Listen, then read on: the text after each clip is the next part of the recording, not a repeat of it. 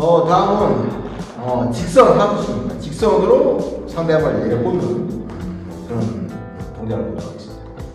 어, 보게 되면 투 포인트 그립을 잡고 직선으로 직선 상대방 코나 둘 들어 이 상태에서 하나 둘셋 넷이 아까는 푸시면 옆으로 가지만 지금 직선으로 딱 잡고 여기서 하나 이때 여기서 잡은 상태에서 이것만 내려주시면 돼요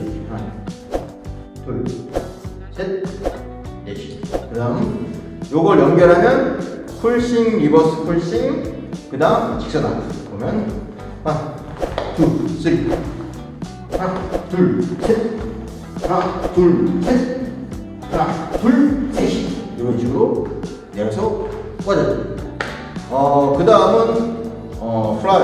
어, 돌아가면, 이 상태에서 상대방 손목을 돌려, 제 손목을 돌려서 상대방을, 어, 상대방의 이제 얼굴이나 코봉을 발견하는 건데, 어, 저 손목을 돌려줘요. 요 돌리기. 쭉 돌리기나. 돌리기 씩 돌. 셋, 넷이.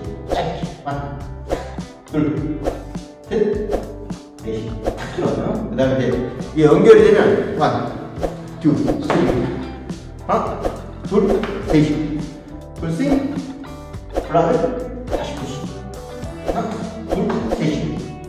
one, two, three.